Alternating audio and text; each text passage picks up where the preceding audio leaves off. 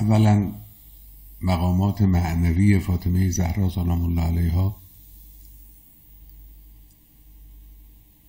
در شمار برترین مقامات معنوی آهاد معدودی از بشریت است. ایشون معصومند. معصوم اسمت ویژه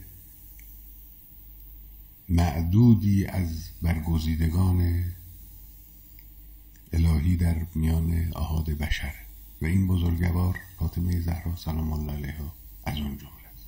با توجه به این واقعیت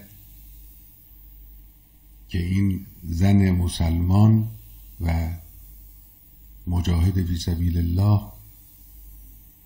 تنها حدود 20 سال حالا با اختلاف روایات از 18 سال تا 25 سال سنش بود. زن جوان. دارای این مرتبه عالی از معنویت که در ردیف اولیا و پیامبران و اینها قرار می‌گیره و سیدت و نساء العالمین نام می‌گیره از سوی فرستادگان الهی.